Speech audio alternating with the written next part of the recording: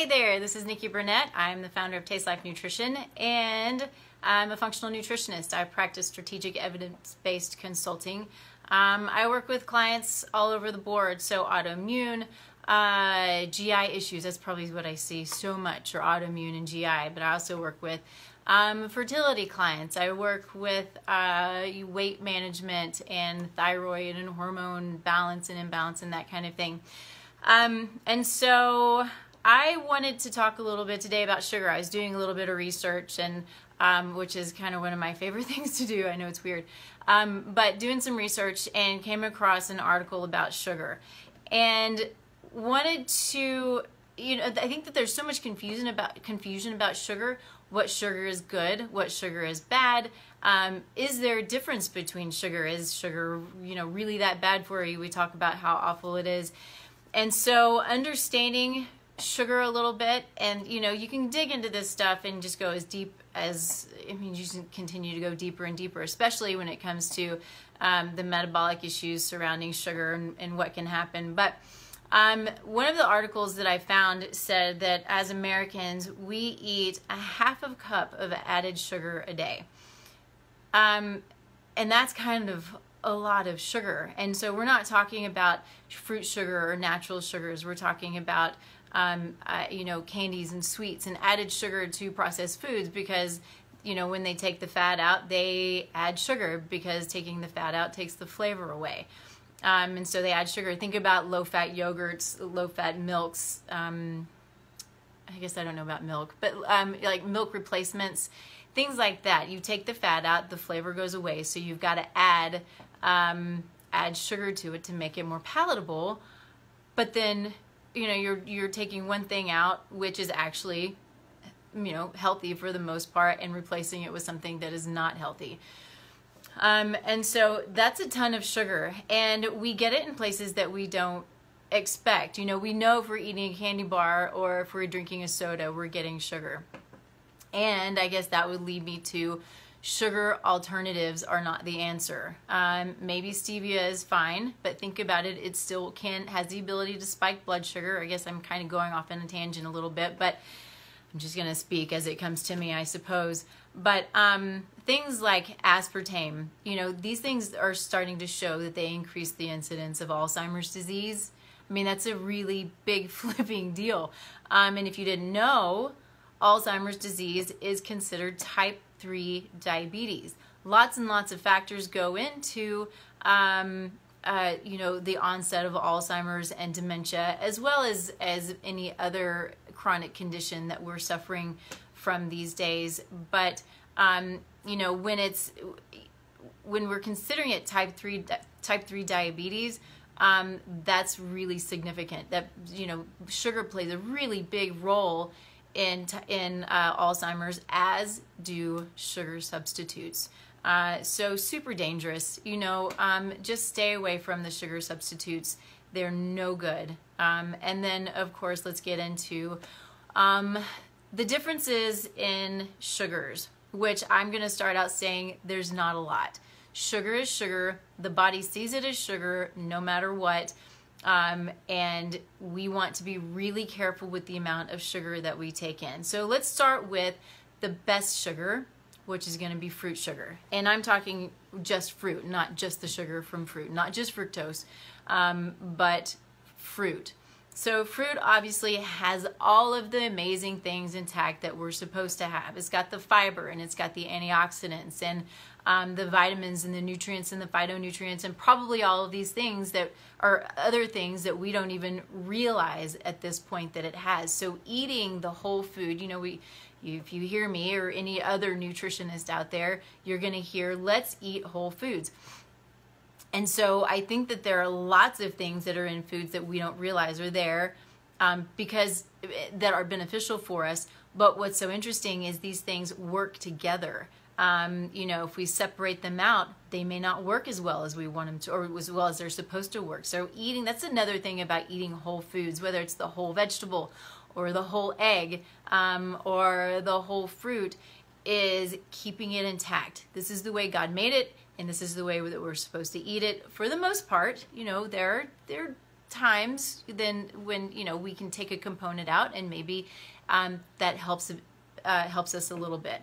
Again, I'm going to jump off to- topic for half a second, but if you think think about turmeric, turmeric is great, but you have to eat a whole lot of turmeric to get enough curcumin, which is the active component and the anti-inflammatory component in turmeric, um, to decrease infl- inflammation and to create the the um, uh, the what we want for the effects that we want.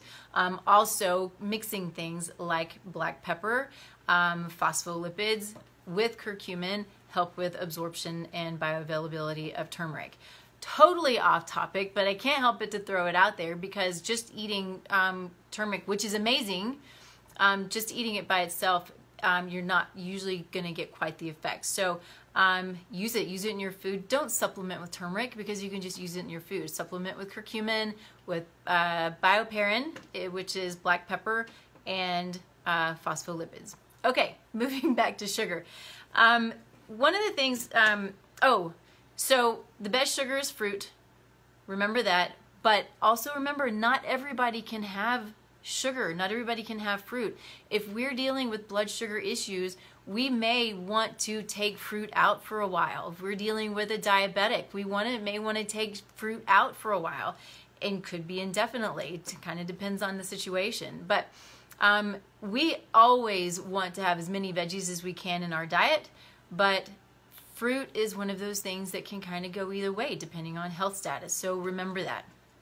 Um, and there's there you know know which fruits are higher in sugar and lower in sugar. Berries are typically much lower in sugar than say a banana or a mango or something like that, um, which are amazing. I think my favorite fruit in the world is a mango.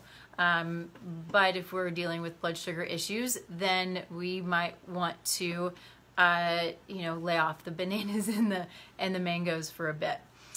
Um, okay, so let's move into some of the other sugars. The worst being white sugar. I remember as a kid, gosh, it's so bad. I remember as a kid um, eating a strawberry. I remember it so vividly. My mom brought home some strawberries. I took a bite and it wasn't sweet enough for me. So I went to the counter, I opened up the jar, in which of course we had all white sugar, and I stuck the strawberry in the white sugar because I needed more sweet. I we're training ourselves and you know unfortunately our, our kids you know that we need more sweet that the the berries aren't sweet enough the natural sweetness isn't sweet enough. Um, and that's how I grew up. I didn't know the difference. I didn't know white sugar was bad. And you know I think now when I eat a strawberry how amazingly beautifully sweet it is. Um, and it sort of you know freaks me out a little bit to think of adding anything to it because it's so beautiful by itself. Um, you know, the same with, well, with any other fruit, especially berries. I'm just a berry girl. I think they're the best. Um, but white sugar, without a doubt, is the most damaging thing you can do. Um, white sugar is going to be added to, well, that and high fructose corn syrup, of course, which is even worse high fructose corn syrup, the liver doesn't know how to handle it. Doesn't there's no shut off valve essentially for high fructose corn syrup. And so your blood sugar just just keeps rising and the liver flips out and it doesn't doesn't know how to handle it. So if we're taking in the white sugars, we're taking in the high fructose corn syrup. Um, one of the things that happens, and we hear about type 2 diabetes, we can expect this, but what we're seeing more and more and more, and I'm seeing it in my labs, not my labs, my clients' labs, more and more is non-alcoholic fatty liver disease. So we're looking at labs and we see we see liver enzymes out of range. Why is this happening? Because we're taking in so much sugar and so often we have no idea how much we're taking in. Well, I only have a soda a day. Well, I only have a sweet tooth a day. Well, I only had a cupcake today. Or you know, whatever it is, you know, even and let's let's go back a step and say even the breads and the pastas, all of those things turn into sugar, all simple sugars, and it overloads the body, overloads the liver, um, and we get into this situation where we have this non alcoholic fatty liver syndrome. When we would see this fatty liver syndrome before, it was always due to alcoholism, heavy alcohol consumption, and now we're seeing people not drinking, just eating so much sugar and so much refined and processed foods that the liver is overloaded and it can't handle it any longer.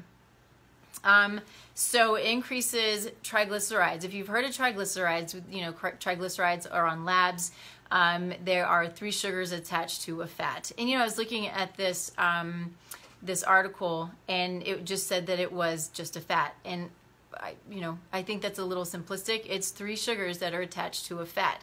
And if we have an overabundance of them in the body, then they get stored in the liver. And again, creates a lot of stress and inflammation in the liver. What happens when we have inflammation? Inflammation leads to chronic disease. So we can say, yes, it leads to um, potentially Alzheimer's disease, can lead to cardiovascular disease. Um, inflammation, systemic inflammation, is is the beginning and the basis of all chronic disease that we're dealing with, and sugar is a big, big part of that. Um, if we don't get it under control, uh, in, uh, inflammation will increase and the liver will just start to will continue to get sicker and sicker and it'll lead to cirrhosis. Um, just like with an alcoholic. It's kind of amazing to me how that works so how do we deal with um, with insulin levels that are out of control, with bringing down triglycerides, with um, with supporting the liver. Um, actually, I have a client right now who has um, an, a, a, little bit of a hard time understanding why his cholesterol numbers are out of whack.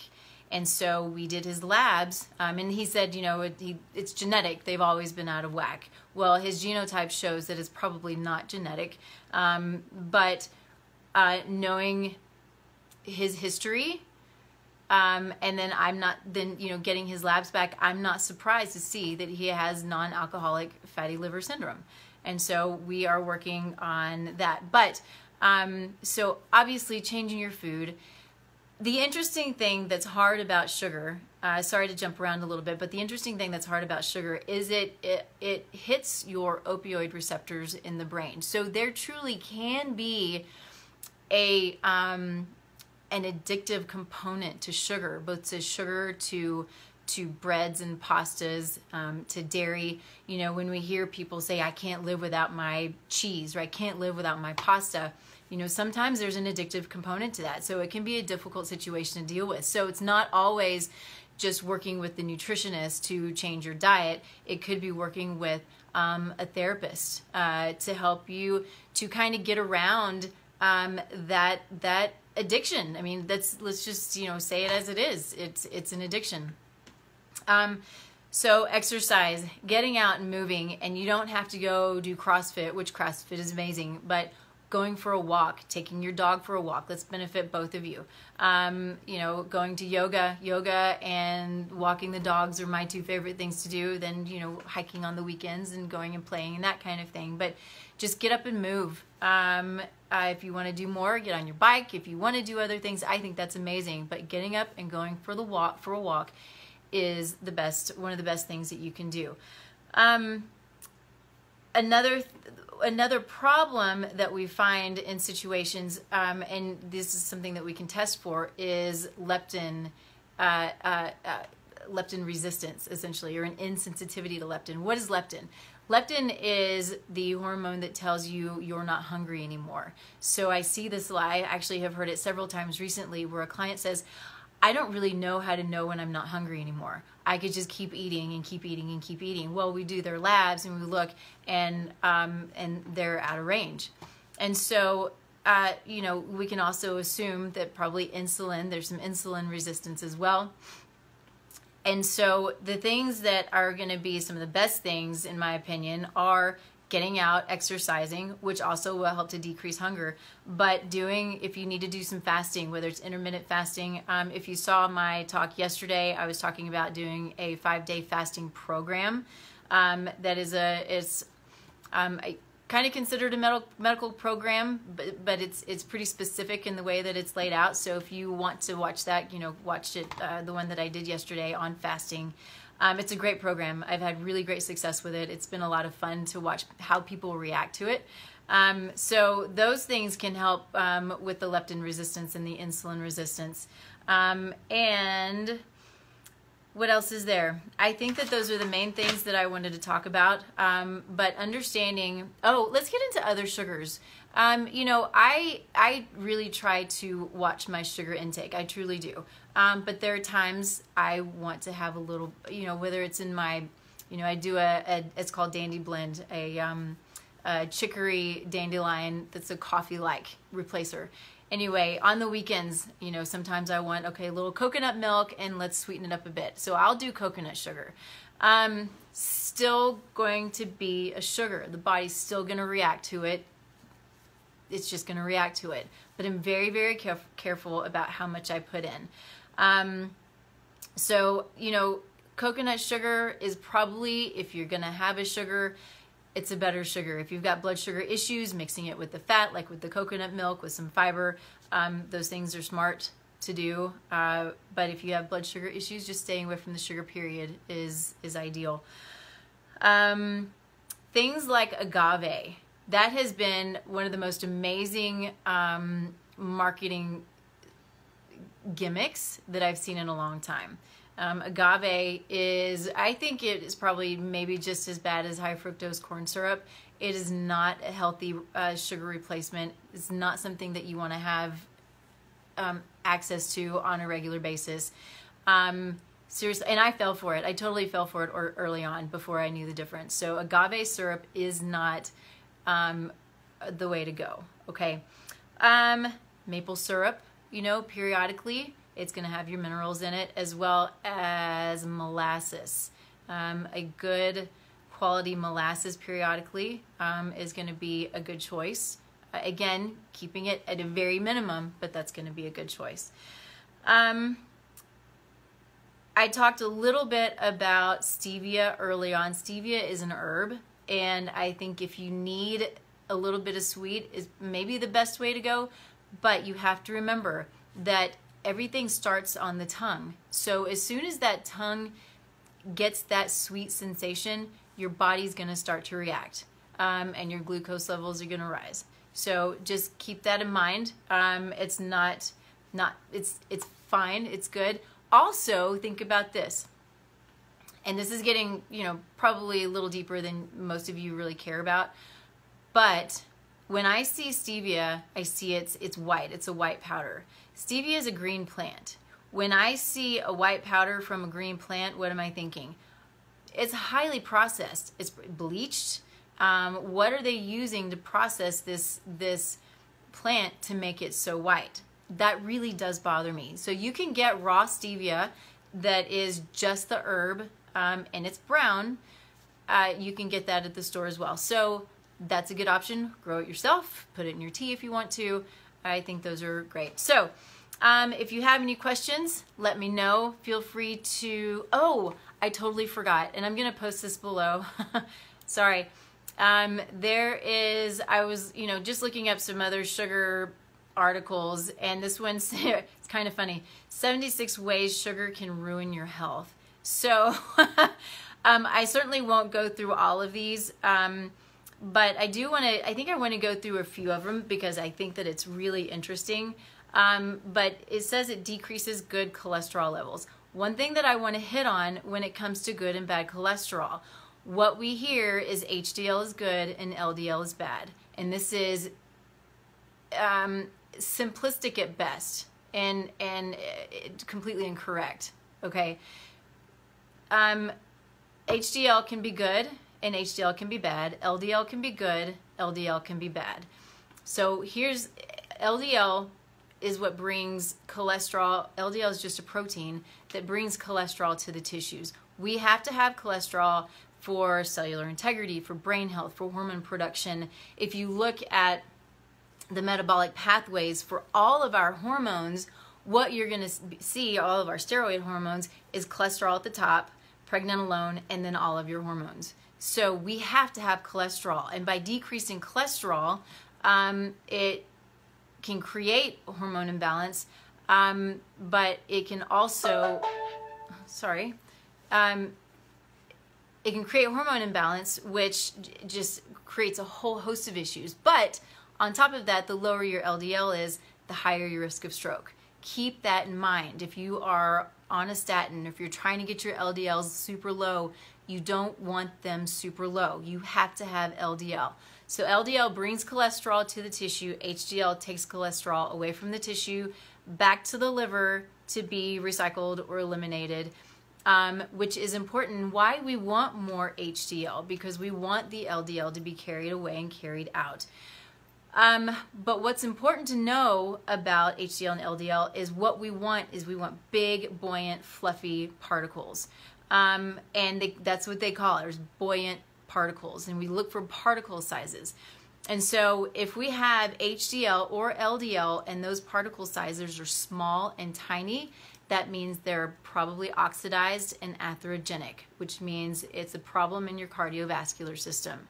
So we want big, fluffy, not small and atherogenic. We can have big fluffy or small in in both LDL and HDL. So only looking at your HDL and LDL numbers is a big problem because we need to look deeper.